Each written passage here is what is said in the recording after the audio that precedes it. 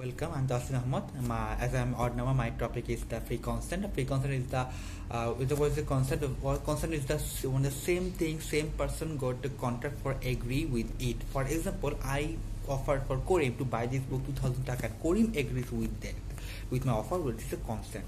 And what's the element? First element is the coercion coercion is the uh, forcing for the uh, criminal in nature for threat something blackmail. For example i said Korim to do that consent or otherwise i will uh, i will kidnap your uh, son. That is a totally unethical uh, illegal. This is the coercion and i can physical force or something.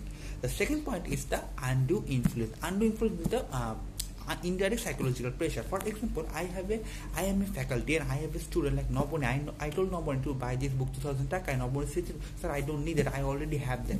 I, I then I told nobody, okay, you don't buy the book. How can you will the exam? I do I do nothing, but nobody got a psychological pressure because I have a power. I have dominant person in the uh, in the other sense in the with the doctor doctor a patient doctor get advantage of it because he has the power. And other hand the, uh, the a person enters to an agreement with the uh, mental capacity temporarily we cannot do the consult because when the old person we can offer him to buy a land for 5 lakh taka he can buy it but uh, he cannot know the current situation. But current situation the um, land is in, after 20 years the 5 lakh 5 lakh land maybe got the 15 lakh which is not totally unethical.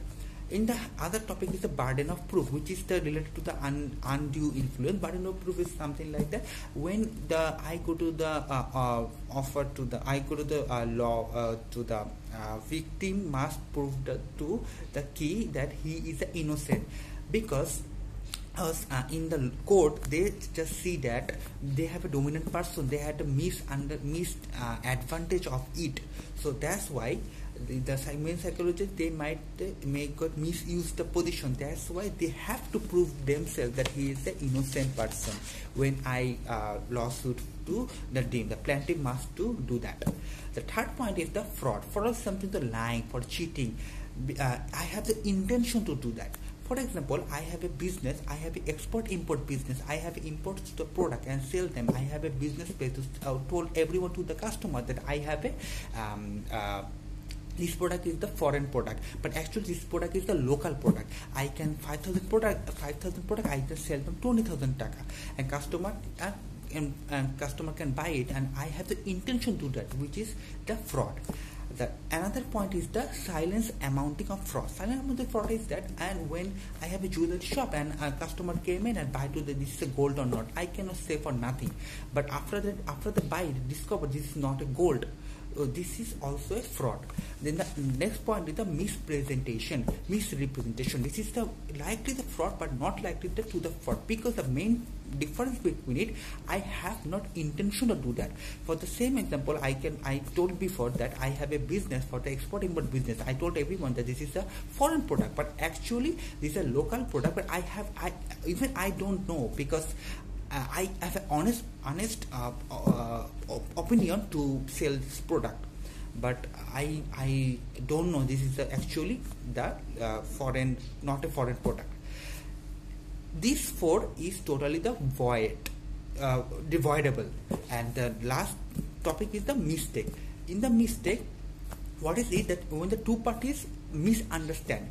Uh, for example, the Korean wants to buy the plate for 24 plates and I can sell them. But I to uh, I can sell them for the function for to one time use plate. But he actually want the ceramic plate. There's a misunderstanding between me and Cody which is total which is the void not voidable. This is the basic difference between mistake and another four elements another thing uh, I must have to know the domestic law of it.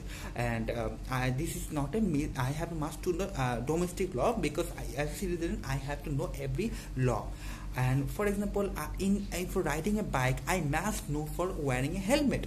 Because if the police saw it he can uh, um, take some money for suspend it because I cannot tell the police because I don't know the law because I, in, it is my responsibility to know the law.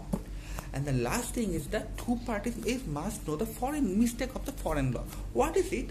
Uh, for example, I have a uh, do a partnership business with the Karim and I I told I uh, we can uh, bring some product for the foreign market and we can bring the product for five percent tax. But now, oh, uh, in maybe we can buy the product for the USA for five percent tax. But after now, this product goes to the fifteen percent tax, and we actually don't know the law.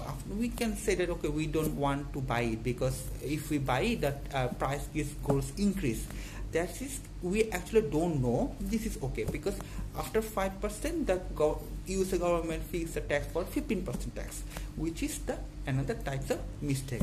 So this is all my presentation uh, thank you very much. I am Tausif signing off. Thank you